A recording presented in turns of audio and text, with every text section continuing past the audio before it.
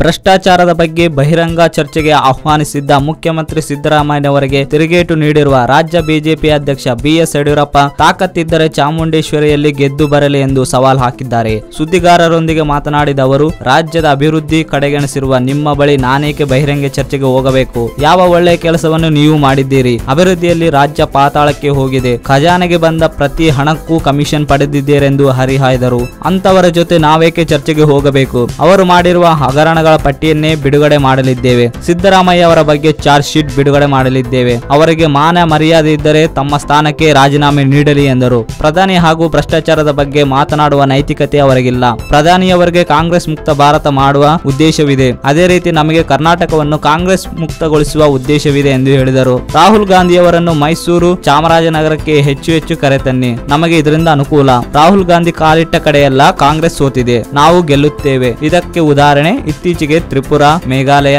ನಾಗಾಲ್ಯಾಂಡ್ಗಳಲ್ಲಿ ನಡೆದಿರುವ ಚುನಾವಣೆಯಾಗಿದೆ. ಈ ಫಲಿತಾಂಶ ನಿಮ್ಮ ಕಣ್ಣ ಮುಂದೆಯೇ ಇದೆ ಎಂದು ಟೀಕಿಸಿದರು. ರಾಜ್ಯದಲ್ಲಿ ಹಗಲು ದರೋಡೆ ನಡೆಯುತ್ತಿದೆ. ಕಾಂಗ್ರೆಸ್ನಲ್ಲಿ ಎಂತ ಭ್ರಷ್ಟರು ಇರಬಹುದಾಗಿದೆ. ರೈತರಿಗೆ ಮೋಸ ಮಾಡಿರುವ ಅಶೋಕ್ ಕಣಿ ವಿರುದ್ಧ ದಾಖಲಾಗಿರುವ ಪ್ರಕರಣಗಳು ಒತ್ತೇ ಇದೆ. ಇಂತಹ ಭ್ರಷ್ಟರನ್ನು ಕಾಂಗ್ರೆಸ್ಗೆ ಸೇರಿಸಿಕೊಂಡಿದ್ದಾರೆ. ಉತ್ತರ ಕರ್ನಾಟಕದಲ್ಲೂ ಭ್ರಷ್ಟರನ್ನೇ ಸೇರಿಸಿಕೊಂಡಿದ್ದಾರೆ. ಕಾಂಗ್ರೆಸ್ ಗುರುತು ಏನೆಂಬುದು ಇದರಿಂದ ತಿಳಿಯುತ್ತದೆ. ಈ ಬಾರಿ ಜನ ಅವರಿಗೆ ತಕ್ಕ ಪಾಠ ಕಲಿಸಲಿದ್ದಾರೆ ಎಂದು ಹೇಳಿದರು. ಕಾಂಗ್ರೆಸ್ಗೆ ಸಿದ್ದರಾಮಯ್ಯ ಕೊನೆಯ ಮುಖ್ಯಮಂತ್ರಿ. ಮುಂದೆ ರಾಜ್ಯದಲ್ಲಿ ಬಿಜೆಪಿಯದೇ ಆಡಳಿತ.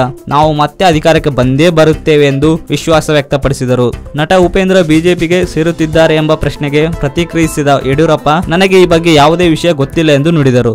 ಈ ವಿಡಿಯೋ ನಿಮಗೆ ಇಷ್ಟವಾದಲ್ಲಿ ಲೈಕ್ ಮಾಡಿ, ಶೇರ್ ಮಾಡಿ, ಸಬ್ಸ್ಕ್ರೈಬ್ ಮಾಡಿ.